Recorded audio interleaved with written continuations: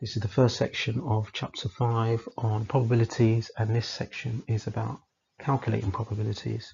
Now most of this stuff you'll know already from GCSE, there isn't anything really new but just make sure you know um, how to describe these words, what their definitions are, an experiment, outcome or outcomes, an event, what a sample space is, and equally likely, how does that affect probabilities when you're working them out?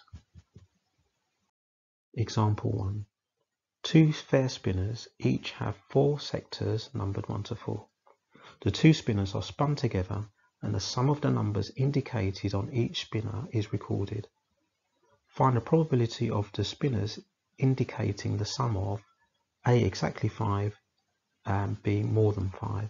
So the way we need to answer this question is by drawing a sample space diagram that will list or show all the different outcomes possible from spinning these two spinners.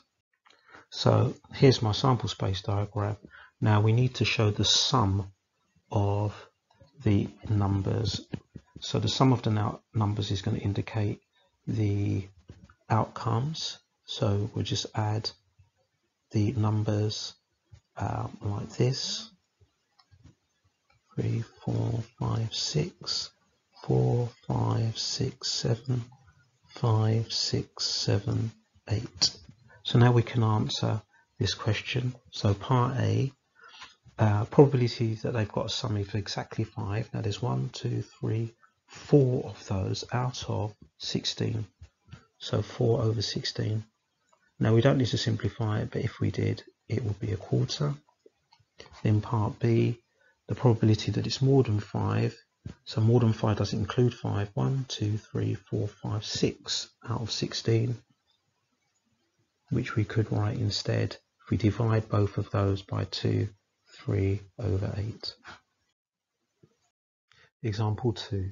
The table shows the times taken in minutes for a group of students to complete a number puzzle. A student is chosen at random. Find the probability that they finish the number puzzle, part A under 9 minutes, part B over 10.5 minutes. So we need to know what this probability is out of. So we need to know what the total frequency is. So 6 plus 13 plus 12 plus 5 plus 4. This is going to give us the denominators for our fractions and that is 40. So part A we know it's going to be something over 40 and under 9 minutes, well, that's going to be the 6 here and the 13 here. And that's all of the 13 because this is less than 9, so this is under 9 minutes. So 6 plus 13 over 40, which gives us a final answer of 19 over 40.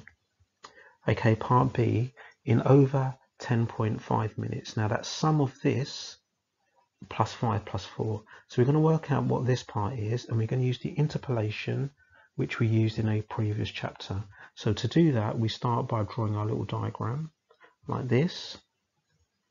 Now, in this question, we actually know the number, and that's 10.5. In the previous examples, we've been trying to find that number. What is missing is its position, and that position is going to help us work out um, how many are over 10.5 minutes. So we know the position of this time here. So that's going to be where the last group ends. So it's going to be 19. And we know the position of this value here, or we can work it out. We need cumulative frequency for that. So 6, 13, uh, 20, oh, so 6, 19, 31, 36, 40. Right, so this group that we're interested in here will goes all the way to 31. So we're trying to find this value here, let's call it x. So now we can write our equation. So that's going to be x minus 19 over 31 minus 19 equals 10.5 minus 9 over 11 minus 9. So that will give us x minus 19 over 12 and then the other side simplifies over here to 3 quarters. So x is going to be 3 quarters times by 12 plus 19. So the value of x is 28. Okay, so what does that tell us? That tells us that this 10.5 minutes is the 28th uh, position. So how many positions are there above this 28th position? Well, that probability is going to be 40 minus 28 over 40. And that leaves us with 12 over 40, which we could simplify if we want to by dividing by 4, 3 over 10. So that's the uh, probability that someone's going to take more than 10 and a half minutes to finish the puzzle. So you should now be able to finish exercise 5A on pages 71 to 72.